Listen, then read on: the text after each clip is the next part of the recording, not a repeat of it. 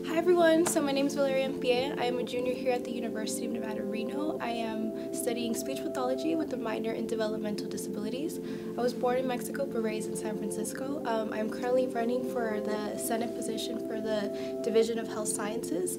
Um, some of my goals are to make sure we have better ADA routes on campus. I want to implement a safer system as well. I want more students to be aware of the blue light system and how to use it and kind of have a guideline um, all over school of where you can find those.